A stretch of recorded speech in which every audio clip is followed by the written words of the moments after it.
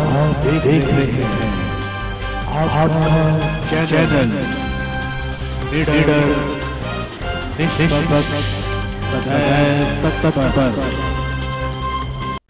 Sir, आपसे जानना चाहेंगे कि जिस तरह से कर्फ्यू के चलते अभी लोग अपने अपने घरों में दुबके पड़े लेकिन अभी अभी जो नालागढ़ से तरतालीस मुसलमान पकड़े गए हैं और उनको क्वारंटाइन किया गया है, इस विषय में आप लोगों का क्या कहना है कि ये हमारा हिमाचल सुरक्षित है ऐसे करके? उसमें हम ये चाह बताना चाहते हैं कि इसमें हमारी थोड़ी सी कमी है कि हमारे जो लोग, जिनके पास वो ठहरे हैं यहाँ के और आसपास के पड़ोस के जो लोग थे, वो, उनकी भी ज़्यादा ज़िम्मेदारी है प्रशासन को बताने की, कि कौन यहाँ ठहरा है, कौन नहीं है। अपनी सुरक्षा के लिए अगर हम भाईचारे को अपनाएँगे, कि यार मेरा पड़ोसी नाराज़ हो जाएगा, मेरा रिश्तेदार नाराज़ हो जाएगा तो इससे काम नहीं चलना है। क्योंकि तो जो, अभी भी लोग बहुत ज़्यादा अवेयर नहीं हो पाए सोशल डिस्टेंसिंग के लिए। लोग अभी भी इसको लॉ एंड ऑर्डर की समस्या समझ रहे हैं। बहुत किसी की रिक्वेस्ट आती रहती है कि मेरा पास बना दो, मेरे कोई निकलने का तरीका बता दो।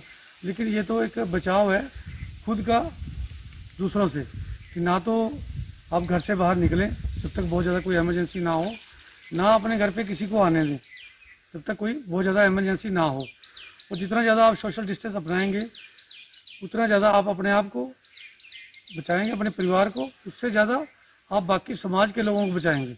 जितने ज़्यादा लोगों के आप संपर्क में आएँगे, आप सबको बीमार कर सकते हैं।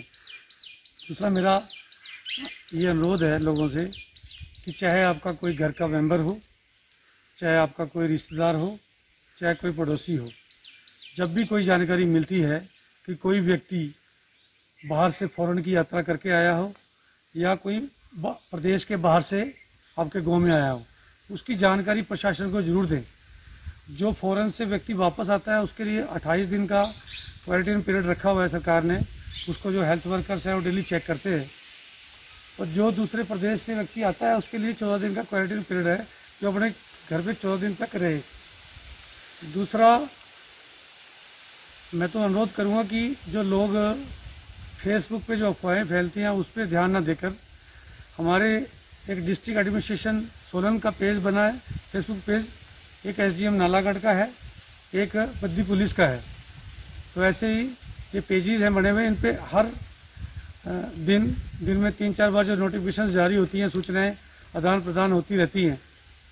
तो दूसरा मेरा अनुरोध है, जो पंचायती राज से जुड़े हुए लोग हैं, चाहे वो प्रधान हैं, चाहे बीडीसी मेंबर हैं, चाहे पंचायत, जिला परिषद लोग हैं, उनका तकरीबन हर आवृत्ति से उनकी पहचान होती है। वो भी अपनी इस, जो ये सामाजिक एक समस्या आई है, उसमें वो भी सरकार की सहायता करें, प्रशासन की सहायता करें और अपने सभी लोगों को जा, जागरूक करें कि कोई भी आपके पड़ोस में, चाहे कोई किसी भी समाज से, किसी भी धर्म से, किसी धर्म को टारगेट करना हमारा मकसद नहीं है, चाहे वो किसी भी धर्म से हो, उसकी सूचना प्रशासन को ज़रूर दें और ख़ास करके सभी लोगों को समझाया जाए कि इसकी सूचना देनी ज़रूरी है। इसी में हमारी सुरक्षा है। जितनी बार भी आप बाहर जाए, घर से गेट खोलें या कुछ करें तो अपने हाथ धोकर, साबुन से या फिर, हैंड वाश से धो के तब अंदर जाएँ, उसके बाद खाना खाएँ। बाहर से अगर आप घर से बाहर गए हैं, कोई सामान लाने इमरजेंसी में तो उसमें ये कोशिश करें आप कि जब घर के अंदर आएँ तो अपने हाथ सैनिटाइज करके बाथरूम में पूरी पूरी कोशिश करनी है कि अपने कपड़ों को धोएँ, खुद नहा धो के, फिर बाकी परिवार के साथ, लोगों के साथ मिलें।